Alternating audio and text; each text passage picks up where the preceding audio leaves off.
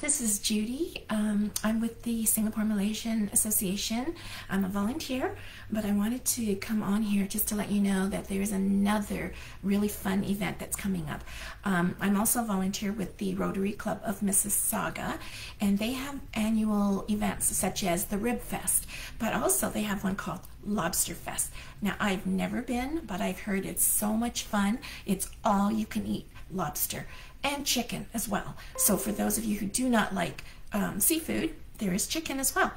Um, I believe it's Swiss Chalet too.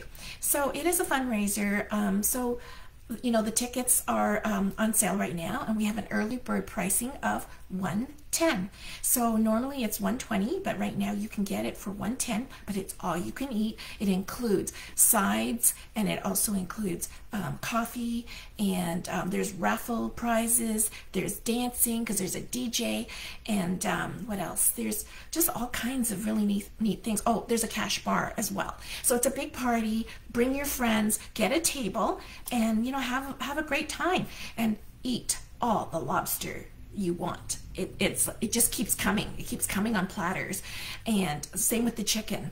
Um, but anyways, let me know if you want tickets. Um, I am selling them, so you can get uh, a hold of me at Judy Lee underscore 88 at Rogers.com. That's my email. And um, yeah, let's hope to see you there because it's a really fun party. It's on June 3rd.